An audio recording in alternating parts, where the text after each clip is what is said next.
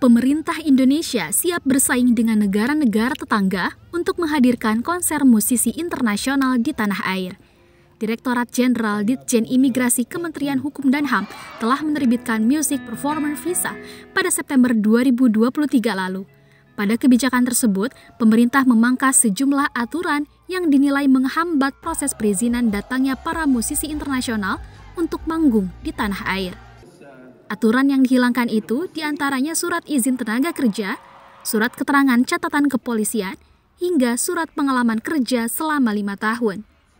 Ditemui di Bandara Internasional I Gusti Ngurah Rai Bali, Rabu 6 Maret, Direktur Jenderal Imigrasi Silmi Karim menilai aturan tersebut menghambat kedatangan musisi dunia, padahal gelaran konser musisi internasional di Indonesia menjadi magnet untuk mendatangkan wisatawan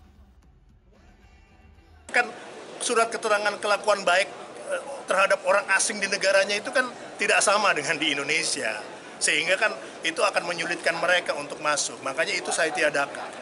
Ya di samping karena tidak mengganggu pasar tenaga kerja mereka adalah uh, pihak yang akan sangat membantu kita dalam mem, me, apa, me, membuat uh, Indonesia menjadi destinasi yang menarik.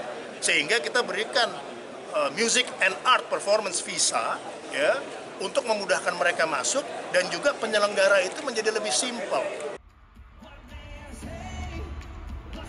Silmi menambahkan, dengan kemudahan visa tersebut, Indonesia siap bersaing dengan negara-negara di kawasan untuk mendatangkan musisi internasional.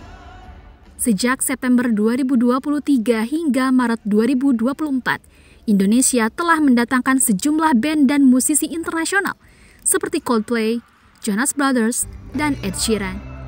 Tak hanya untuk gelaran konser berskala internasional, Ditjen Imigrasi juga mempermudah visa untuk ajang olahraga internasional. Silmi menilai eksibisi atau pertandingan di Indonesia merupakan hal baik bagi destinasi wisata.